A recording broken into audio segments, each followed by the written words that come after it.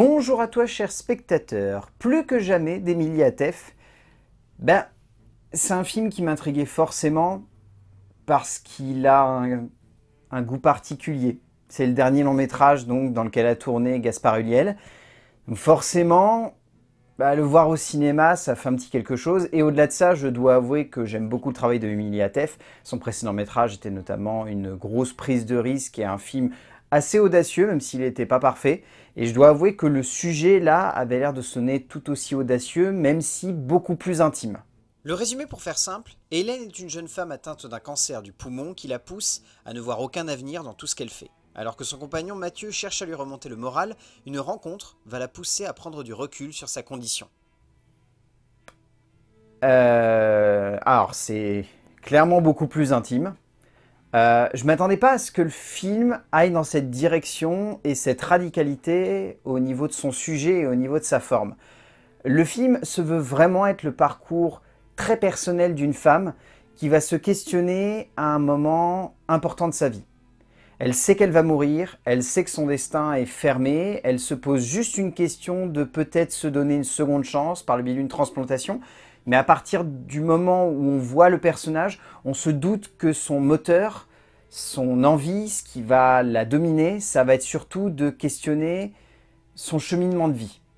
Et à partir de là, Emilia Teff met en scène et construit le parcours d'une femme qui cherche surtout à questionner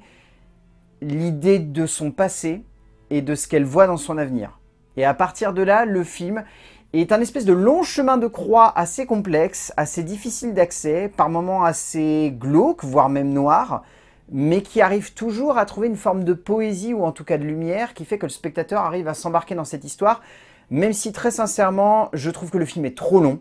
réellement trop long qu'il a certes plein de choses intéressantes à raconter, mais qu'il passe trop son temps à divaguer et à s'attarder sur des détails, sur des relations, sur des aspects de composition des personnages qui sont parfois assez inintéressants, voire même assez inutiles. Et je trouve que dans son ensemble, même si cette histoire est prenante, même si ce personnage principal est vraiment intéressant, il y a une propension de la part d'Emilia Teff à vouloir tellement en montrer aux spectateurs, à vouloir tellement nous plonger dans la tête de cette femme, que par instant, on peut avoir l'impression qu'on ne comprend pas tout ce qu'elle cherche à questionner. Et c'est à partir de là que je trouve que le film est un poil maladroit, un poil vague, et que même si on se laisse emporter par cette histoire, l'émotion qui s'en dégage est parfois extrêmement froide. La maladie est un sujet qui demande à un auteur un véritable travail de composition et de création pour ne pas enfermer son œuvre dans une simple conception et création pathétique autour de la condition d'un personnage qui ne va pas avancer dans un sens où le spectateur comprendra et acceptera sa condition.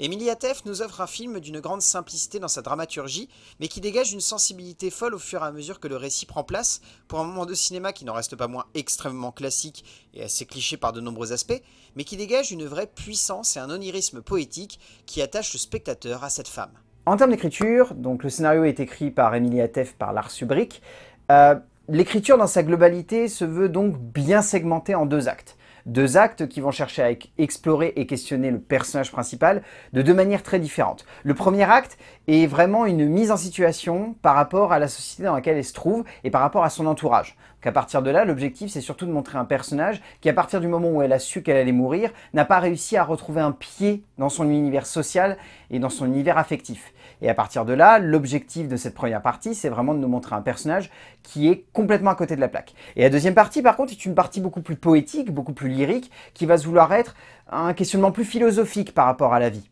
par rapport à ce qu'on désire, par rapport à ce qu'on a souhaité, par rapport à ce qu'on aurait aimé avoir de notre avenir, et par rapport à ce que l'on laissera en tant que trace et en tant qu'émotion au sein soit de son entourage, soit de sa famille, soit de ses proches. Donc ces deux parties sont bien segmentées, et je trouve que dans cette idée-là, les deux scénaristes ont réussi à construire quelque chose d'intéressant. Mais encore une fois, on reste sur ce fait que déjà de 1, c'est beaucoup trop marqué, la segmentation, et on a presque l'impression de voir deux films en un, et je trouve que bizarrement, les deux scénaristes s'épanouissent beaucoup plus dans cette deuxième partie où finalement on est limité à trois personnages et à un environnement qui est très parlant. Et bah derrière, il n'y a pas grand chose de plus. Notamment dans cette première partie, qui je trouve est assez vide. Et c'est vraiment dommage parce que je trouve le personnage fascinant, mais la première partie est trop longue, prend trop son temps, est trop hasardeuse dans ses détails, Et en tant que spectateur, bah, c'est difficile de s'investir dans un moment de cinéma où on a l'impression qu'on est trop froid, trop clinique, et que du coup, il n'y a pas beaucoup d'émotions qui se dégagent. Et c'est ça mon vrai problème avec cette première partie. Atef et Kubrick nous offrent un scénario somme toute assez convenu, divisé de manière très classique en deux parties bien segmentées et un peu trop faciles dans leur genre, mais qui parviennent, chacune à leur manière, à nous emporter dans l'esprit de cette femme et à nous faire ressentir ses tourments et ses questions. Si l'ensemble ne sonne jamais comme un ensemble dramatique et narratif particulièrement créatif, il s'en dégage tout de même un profond besoin de nous questionner sur l'idée de la fin de vie et surtout sur le choix que l'on peut se donner lorsque l'on sait que l'on est condamné et que la seule chose que l'on possède encore, c'est la possibilité de décider quand et comment on part. En termes de mise en scène, Emilie Atef a un style qu'on pourrait qualifier de, encore une fois je vais utiliser ce mot poétique, mais surtout d'affectif. L'objectif c'est réellement de créer un affect profond pour le personnage. Et à partir de là, Emilie Atef, elle cherche juste à créer de l'émotion et de l'intensité en se rapprochant le plus de son héroïne. Donc cette idée est très intéressante parce qu'elle est purement et simplement dans la même veine que Trois jours à Quiberon, son précédent métrage, où l'objectif était aussi de s'accrocher au personnage principal et de ne pas lâcher cette Romy Schneider. Ici, on est donc dans l'objectif de créer une émotion qui soit extrêmement à fleur de peau pour que l'on comprenne les grands moments de, on va dire, d'élan émotionnel que va vivre le personnage principal. Donc à partir de là, la mise en scène est cohérente par rapport à ce qu'elle veut montrer. Mais après, il ne faut pas se voiler la face, c'est une mise en scène qui est très pathétique, qui a tendance à jouer sur un affect qui est tellement viscéral que par moments, on peut trouver le personnage ben, pas forcément très intéressant, et même si, encore une fois, elle peut euh, se reposer sur des décors absolument magnifiques dans cette deuxième partie de métrage, eh ben, je trouve que ça ne suffit pas à faire tenir son héroïne, et surtout à faire en sorte qu'en tant que spectateur, on soit emporté dans un élan affectif et émotionnel qui fasse qu'à la fin, on soit autant impacté que son personnage. Donc il y a de l'idée, encore une fois. C'est indéniable et c'est vraiment beau par moments. Mais il y a d'autres moments où le film est trop long, le montage est assez hasardeux, il y a une tendance à vouloir étirer les scènes à un point où littéralement on aurait presque envie de se dire qu'il y a des scènes qu'on pourrait enlever du film parce qu'elles ne servent à rien, elles n'apportent pas de profondeur au personnage, elles apportent juste des clichés. Je pense notamment à une séquence de petit déjeuner qui n'a aucune incidence par rapport à tout ce qui se passe derrière, si ce n'est virer un personnage de l'histoire. Et, c'est dommage parce que derrière, on se dit que si ce genre de scène était retiré, le film sera un beau voyage, peut-être d'une heure quarante simplement,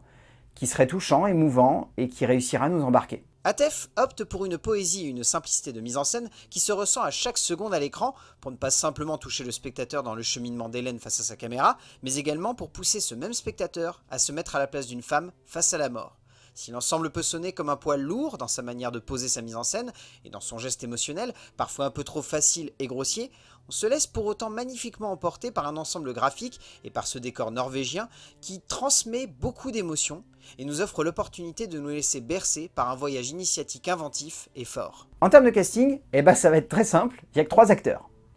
J'ai envie de saluer la performance tout de même de Björn Floberg, qui est vraiment vraiment excellent, qui a une manière de porter son personnage qui je trouvais très juste, qui est très attachant et qui je trouvais très beau. Bien évidemment, il y a Gaspard Ulliel, dont la performance est déchirante quand on sait que c'est sa dernière, mais surtout, je trouve il est très beau, dans le sens où son personnage est très simple, il n'y a pas de grands élans dramatiques, il y a une petite scène forte, mais sinon la plupart du temps, c'est vraiment un personnage qui est très délicat, très juste, c'est peut-être un des personnages les plus intéressants que j'ai trouvé dans l'ensemble du métrage. Mais surtout, il y a cette actrice principale qui, je trouve, est flamboyante, qui est très belle, qui porte à merveille son héroïne et qui arrive à lui donner tout l'impact nécessaire pour que même si on ait des choses à redire par rapport à la composition de celui-ci, l'interprétation soit vraiment flamboyante. Vicky Cripps est une actrice particulièrement talentueuse dont le jeu semble gagner en intensité au fur et à mesure que sa carrière avance, pour une prestation qui ici sonne comme purement et simplement magnifique. Au bout du compte, plus que jamais, est un film qui est gorgé de défauts, qui est trop long, qui s'attarde sur des détails pas forcément toujours très intéressants, qui a des scènes qui sont très clichés, qui a une émotion pas toujours pleinement maîtrisée, mais qui reste un beau voyage. Un voyage, comme je l'ai souvent dit, qui est poétique, qui est touchant, qui est émotionnel, et qui surtout vaut le coup d'œil pour ses trois interprètes principaux et pour la manière avec laquelle Emilie Atef cherche à nous accrocher à son héroïne.